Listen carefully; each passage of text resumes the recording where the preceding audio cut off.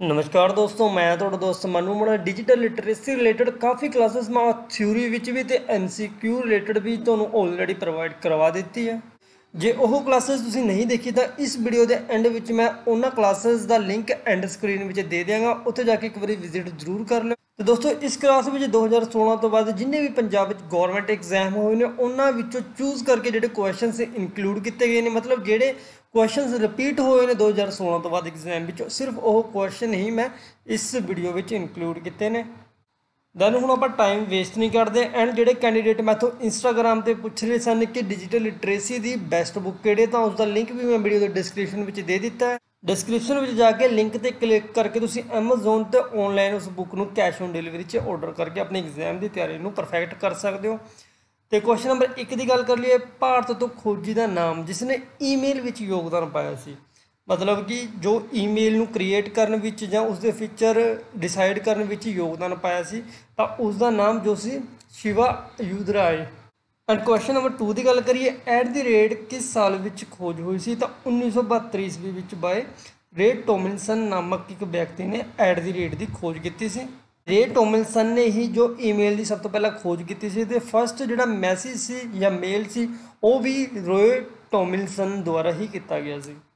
Question number 3 ਦੀ ਗੱਲ ਕਰੀਏ email ਵਿੱਚ ਸੀਸੀ ਦਾ ਪੂਰਾ ਨਾਮ ਕੀ ਹੁੰਦਾ ਹੈ? ਤਾਂ ਆਲਰੇਡੀ ਮੈਂ ਥਿਊਰੀ ਵਿੱਚ ਤੁਹਾਨੂੰ ਇੱਕ ਵੀਡੀਓ ਪ੍ਰੋਵਾਈਡ ਕਰਵਾ ਚੁੱਕਾ ਹਾਂ ਈਮੇਲ ਦੇ ਰਿਲੇਟਡ ਤਾਂ ਉਸ ਵਿੱਚ ਵੀ ਮੈਂ ਦੱਸਿਆ ਹੋਇਆ ਸੀ ਕਿ ਇਸ ਦਾ ਪੂਰਾ ਨਾਮ ਕੀ ਹੁੰਦਾ ਤਾਂ ਕਾਰਬਨ ਕਾਪੀ ਈਮੇਲ ਵਿੱਚ ਸੀਸੀ ਦਾ ਪੂਰਾ ਨਾਮ ਹੁੰਦਾ ਹੈ।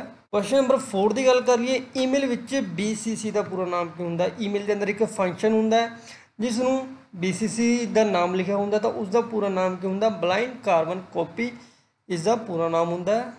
ਤੇ ਦੋਸਤੋ, ਅੱਗੇ ਚੱਲਣ ਤੋਂ ਪਹਿਲਾਂ ਇੱਕ ਛੋਟੀ ਜਿਹੀ ਇਨਫੋਰਮੇਸ਼ਨ ਜੇ ਤੁਸੀਂ digital literacy computer science and polity the important ਕੁਐਸਚਨਾਂ ਦੀ ਪੀਡੀਐਫ ਫਾਈਲ ਨੂੰ ਬਾਈ ਕਰਨਾ ਚਾਹੁੰਦੇ ਹੋ ਜਿਸ ਦਾ ਪ੍ਰਾਈਸ ਸਿਰਫ 44 ਰੁਪਏ ਹੈ, ਤਾਂ ਇਹ ਮੇਰਾ ਇੰਸਟਾਗ੍ਰam ਆਈਡੀ ਨੰਬਰ ਹੈ, ਇਸ ਤੇ ਮੈਨੂੰ ਫੋਲੋ ਕਰਕੇ, ਮੇਰੇ ਨਾਲ ਗੱਲ ਕਰਕੇ, ਫਿਰ ਤੁਸੀਂ ਇਸ ਇੰਪੋਰਟੈਂਟ ਪੀਡੀਐਫ ਫਾਈਲ ਨੂੰ ਬਾਈ ਕਰ ਸਕਦੇ ਹੋ। ਕਾਫੀ ਕੈਂਡੀਡੇਟ ਨੇ ਇਹ ਪੀਡੀਐਫ ਫਾਈਲ ਆਲਰੇਡੀ ਬਾਈ ਕਰ ਲਈ ਹੈ। ਜੇ ਤੁਸੀਂ ਵੀ ਆਪਣੀ ਐਗਜ਼ਾਮ ਦੀ ਤਿਆਰੀ ਨੂੰ ਪਰਫੈਕਟ ਬਣਾਉਣਾ ਚਾਹੁੰਦੇ ਹੋ, ਤਾਂ ਇਸ ਪੀਡੀਐਫ ਫਾਈਲ ਨੂੰ ਜ਼ਰੂਰ ਬਾਈ ਕਰ ਲਿਓ। ਐਂਡ ਕੁਐਸਚਨ ਨੰਬਰ 5 ਦੀ ਗੱਲ ਕਰੀਏ SMTP ਕਿਹੜਾ ਪ੍ਰੋਟੋਕੋਲ ਹੈ? ਤਾਂ ਇਹ ਪੁਸ਼ ਪ੍ਰੋਟੋਕੋਲ ਇਸ ਨੂੰ ਕਿਹਾ ਜਾਂਦਾ ਹੈ। ਜੇ ਤੁਸੀਂ ਮੇਰੀ ਪ੍ਰੀਵੀਅਸ ਕਲਾਸਿਸ ਅਟੈਂਡ ਕੀਤੀਆਂ ਨੇ, ਤਾਂ SMT ਦੀ ਫੁੱਲ ਫਾਰਮ ਤੁਹਾਨੂੰ ਪਤਾ ਹੋਵੇ। ਜੇ ਪਤਾ ਹੈ, ਤਾਂ ਇਸ ਦਾ ਫੁੱਲ ਫਾਰਮ ਕੀ ਹੈ, ਉਹ ਮੈਨੂੰ ਵੀਡੀਓ ਦੇ ਕਮੈਂਟ ਵਿੱਚ ਲਿਖ ਕੇ ਇੱਕ ਵਾਰੀ ਦੱਸ ਜ਼ਰੂਰ ਦਿਓ। ਕੁਐਸਚਨ ਨੰਬਰ 6 ਦੀ ਗੱਲ ਕਰੀਏ MSN ਯਾਨੀ ਮੈਸੇਂਜਰ ਤੇ AOL ਡੈਸ਼ ਦੀ ਉਦਾਹਰਣ ਹੈ। ਤਾਂ ਇਹ ਦੋਨੇ ਜਿਹੜੀ ਆਨਲਾਈਨ ਸਰਵਿਸ ਪ੍ਰੋਵਾਈਡਰ ਨੇ AOL ਦਾ ਵੀ ਫੁੱਲ ਫਾਰਮ ਮੈਂ ਆਲਰੇਡੀ ਆਪਣੀ ਕਲਾਸਿਸ ਵੀ ਦੱਸੀ ਹੋਈ ਹੈ। ਜੇ ਤੁਹਾਨੂੰ ਪਤਾ ਹੈ, ਤਾਂ ਵੀਡੀਓ ਵਿੱਚ ਕਮੈਂਟ ਕਰਕੇ ਮੈਨੂੰ ਜ਼ਰੂਰ ਦੱਸ ਦਿਓ। ਤੇ ਕੁਐਸਚਨ ਨੰਬਰ 7 ਦੀ ਗੱਲ ਕਰੀਏ ਜੀਮੇਲ ਵਿੱਚ ਅਟੈਚਮੈਂਟ ਆਕਾਰ ਸਾਈਜ਼ ਯਾਨੀ ਜਿਹੜੀ ਫਾਈਲ ਆਪਾਂ ਅਟੈਚ ਕਰਦੇ ਹਾਂ ਉਸ ਦੀ ਲਿਮਿਟ ਕੀ ਹੁੰਦੀ ਹੈ? ਤਾਂ 25 MB ਦੀ ਆਪਾਂ ਨਾਰਮਲ ਅਟੈਚਮੈਂਟ ਮੇਲ ਦੇ ਵਿੱਚ ਆਪਾਂ ਅਟੈਚ ਕਰ ਸਕਦੇ ਹਾਂ। ਐਂਡ ਕੁਐਸਚਨ ਨੰਬਰ 8 ਦੀ ਗੱਲ ਕਰੀਏ WW ਦੀ ਖੋਜ ਕਿਸ ਨੇ ਕੀਤੀ ਸੀ? ਤਾਂ ਟਿਮ ਬਰਨਸ ਲੀ ਨਾਮਕ ਇੱਕ ਵਿਅਕਤੀ ਸੀ ਨੇ WWE ਦੀ ਖੋਜ ਕੀਤੀ ਸੀ। ਤੇ ਇੱਕ ਗੱਲ ਹੋਰ ਦੋਸਤੋ, ਸਾਡੇ ਚੈਨਲ ਵੱਲੋਂ ਸਬ ਇੰਸਪੈਕਟਰ ਕਨਸਟੇਬਲ ਅਤੇ ਜੇਲ੍ਹ ਵਾਰਡਰ ਦੇ ਐਗਜ਼ਾਮ ਰਿਲੇਟਡ ਇੱਕ ਧਾਕੜ ਕ੍ਰੈਸ਼ ਕੋਰਸ ਜਾਰੀ ਕੀਤਾ ਹੋਇਆ ਹੈ। ਇਸ ਦੀ ਅੱਜ ਤੋਂ ਪ੍ਰੋਪਰ ਕਲਾਸਿਸ ਸਟਾਰਟ ਹੋ ਜਾਣਗੀਆਂ, ਜਿਸ ਵਿੱਚ ਤੁਹਾਨੂੰ ਸਟੱਡੀ ਮਟੀਰੀਅਲ ਵੀ ਮਿਲੂਗੀ ਆਨਲਾਈਨ ਕਲਾਸਿਸ ਵੀ ਮਿਲਣਗੀਆਂ। ਜੇ ਇਸ ਬਾਰੇ ਪੂਰੀ ਜਾਣਕਾਰੀ ਤੁਸੀਂ ਲੈਣਾ ਚਾਹੁੰਦੇ ਹੋ, ਮਤਲਬ ਧੱਕੜ ਕ੍ਰੈਸ਼ ਕੋਰਸ ਬਾਰੇ ਪੂਰੀ ਜਾਣਕਾਰੀ ਲੈਣਾ ਚਾਹੁੰਦੇ ਹੋ, ਤਾਂ ਇੰਸਟਾਗ੍ਰam ਤੇ ਮੈਨੂੰ ਫੋਲੋ ਕਰਕੇ, ਮੇਰੇ ਨਾਲ ਗੱਲ ਕਰਕੇ ਇਸ ਕ੍ਰੈਸ਼ ਕੋਰਸ ਬਾਰੇ ਵੀ ਪੂਰੀ ਜਾਣਕਾਰੀ ਲੈ ਸਕਦੇ ਹੋ। ਕੁਐਸਚਨ ਨੰਬਰ 9 ਦੀ ਗੱਲ ਕਰੀਏ www ਦੀ ਖੋਜ ਕਦੋਂ ਕੀਤੀ ਗਈ ਸੀ? ਤਾਂ 1990 ਈਸਵੀ ਵਿੱਚ ਪਹਿਲੀ ਵਾਰ www ਦਾ ਯੂਜ਼ ਕੀਤਾ ਗਿਆ ਸੀ। ਐਂਡ ਕੁਐਸਚਨ ਨੰਬਰ 10 ਦੀ ਗੱਲ ਕਰ ਲਈਏ URL ਦੀ ਖੋਜ ਕਿਸ ਨੇ ਕੀਤੀ ਸੀ?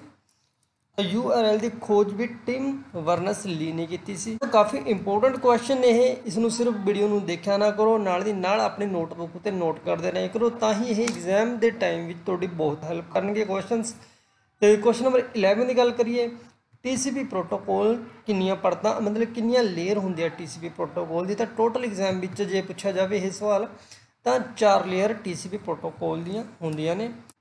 ਐਂਡ ਕੁਐਸਚਨ ਨੰਬਰ 12 ਦੀ ਗੱਲ ਕਰੀਏ, ਇੱਕ ਵੈਬ ਪੇਜ ਨੂੰ ਮੁੜ ਲੋਡ ਕਰਨ ਲਈ ਕਿਹੜਾ ਬਟਨ ਦੱਬਿਆ ਜਾਂਦਾ ਹੈ? ਤਾਂ ਰੀਫਰੈਸ਼ ਆਪ ਨੂੰ ਸਭ ਨੂੰ ਪਤਾ ਰੀਫਰੈਸ਼ ਜੇ ਆਪਾਂ ਰੀਲੋਡ ਕਰਨਾ ਕੋਈ ਪੇਜ ਤਾਂ ਉਸ ਨੂੰ ਰੀਫਰੈਸ਼ ਨਾਲ ਆਪਾਂ ਕਰ ਸਕਦੇ ਹਾਂ। ਕੁਐਸਚਨ ਨੰਬਰ 13 ਦੀ ਗੱਲ ਕਰੀਏ www ਦਾ ਪੂਰਾ ਨਾਮ ਕੀ ਹੈ? ਤਾਂ ਵਰਲਡ ਵਾਈਡ ਵੈਬ ਇਹ ਐਗਜ਼ਾਮ ਵਿੱਚ ਕਾਫੀ ਵਾਰ ਇਹ ਪੁੱਛਿਆ ਗਿਆ ਇਹ ਕੁਐਸਚਨ ਤਾਂ ਇਸ ਨੂੰ ਰੱਟ ਲਿਓ ਕਿ www ਦਾ ਪੂਰਾ ਨਾਮ ਵਰਲਡ ਵਾਈਡ ਵੈਬ ਪੂਰਾ ਨਾਮ ਹੈ। ਤੇ ਕੁਐਸਚਨ ਨੰਬਰ 15 ਦੀ ਗੱਲ ਕਰੀਏ ਡਕ ਡਕ ਗੋ ਕੀ ਹੈ?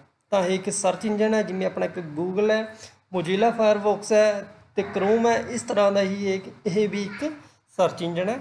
ਦੋਸਤੋ, ਜੇ ਤੁਸੀਂ ਕੋਈ ਵੀ ਟੌਪਿਕ ਰਿਲੇਟਡ ਵੀਡੀਓ ਮੇਰੇ ਚੈਨਲ ਤੇ ਦੇਖਣਾ ਚਾਹੁੰਦੇ ਹੋ, ਤਾਂ ਉਸ ਬਾਰੇ ਵੀ ਮੈਥੋਂ ਇੰਸਟਾਗ੍ਰam ਤੇ ਗੱਲ ਕਰ ਸਕਦੇ ਹੋ ਜਾਂ ਇਸ ਵੀਡੀਓ ਦੇ ਕਮੈਂਟ ਵਿੱਚ ਲਿਖ ਕੇ ਮੈਨੂੰ ਦੱਸ ਦਿਓ, ਤਾਂ ਮੈਂ ਨੈਕਸਟ ਪਾਰਟ ਜ਼ਰੂਰ ਤੁਹਾਨੂੰ ਤੁਹਾਡੀ ਡਿਮਾਂਡ ਦੇ ਅਕੋਰਡਿੰਗ ਮੈਂ ਆਪਣੀ ਚੈਨਲ ਤੇ ਵੀਡੀਓ ਤੁਹਾਨੂੰ ਪ੍ਰੋਵਾਈਡ ਕਰਵਾ ਦਿਆਂਗਾ। ਤੇ ਕੁਐਸਚਨ ਨੰਬਰ 16 ਦੀ ਗੱਲ ਕਰੀਏ, ਪਹਿਲਾ ਨੈਟਵਰਕ ਜਿਸ ਨੇ ਇੰਟਰਨੈਟ ਦੇ ਬੀਜ ਬੀਜੇ ਸਨ, ਤਾਂ ਆਰਪਨੈਟ ਇਹ ਯੂ ਐਸ ਏ ਦਾ ਇੱਕ ਨੈਟਵਰਕ ਸੀ, ਤਾਂ ਇਸਨੇ ਇਹ ਸਟਾਰਟ ਕੀਤਾ ਸੀ ਇੰਟਰਨੈਟ ਦੀ ਸ਼ੁਰੂਆਤ ਕੀਤੀ ਸੀ। ਕਿ ਦੋਸਤੋ ਇਸੇ ਪ੍ਰੀਵੀਅਸ ਐਗਜ਼ਾਮ ਵਿੱਚ, ਪੁੱਛੇ ਹੋਏ ਕੁਝ ਇੰਪੋਰਟੈਂਟ ਕੁਐਸਚਨ ਜੇ ਤੁਸੀਂ ਇਹਨਾਂ ਦੀ ਪੀਡੀਐਫ ਫਾਈਲ ਨੂੰ ਬਾਈ ਕਰਨਾ ਚਾਹੁੰਦੇ ਹੋ, ਤਾਂ ਇੰਸਟਾਗ੍ਰam ਤੇ ਆ ਜਾਓ ਐਂਡ ਜੇ ਇਹ ਵੀਡੀਓ ਬੈਨੀਫੀਸ਼ੀਅਲ ਲੱਗਦੀ ਹੈ, ਤਾਂ ਚੈਨਲ ਨੂੰ ਸਬਸਕ੍ਰਾਈਬ ਕਰ ਲਿਓ ਤੇ ਵੀਡੀਓ ਨੂੰ ਲਾਈਕ ਜ਼ਰੂਰ ਕਰ ਲਿਓ।